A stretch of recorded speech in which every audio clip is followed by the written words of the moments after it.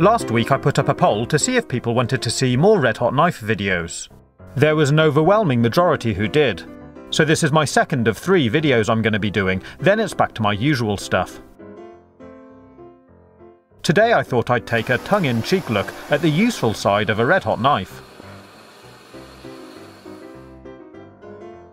For instance, if you like roasted marshmallows and you haven't got a campfire, don't just use your blowtorch to cook them, no, use your red hot knife and cook them straight down the middle.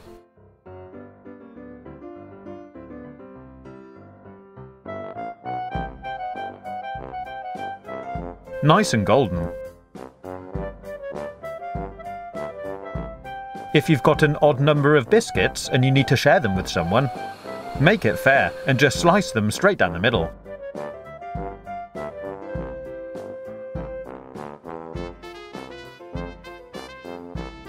It can also be useful if you're struggling to open something because you can't quite grip it properly.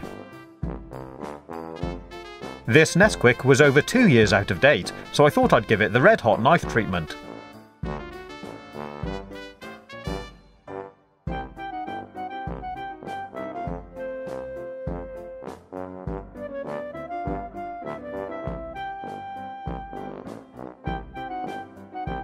And I guess after all of that sugar, you might need to do your teeth.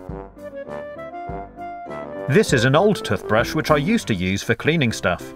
But if you've realised you've put the wrong toothpaste on your brush, you can use a red hot knife to help you remove it.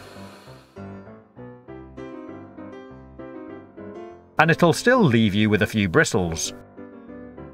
And if you've ever wondered how they get those nice stripes in the toothpaste, you can just cut it open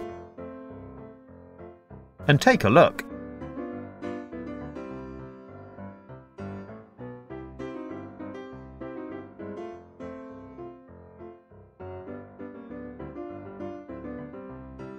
Pretty cool, huh?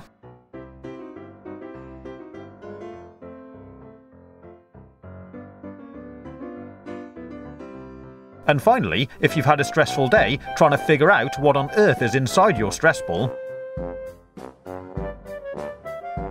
You can use a hot knife to take a closer look.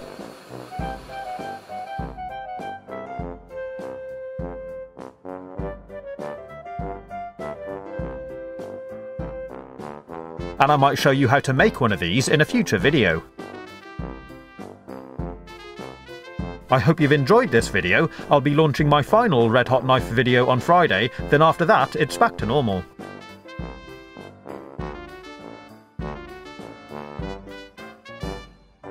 Stay safe, have fun, and as always, thanks for watching.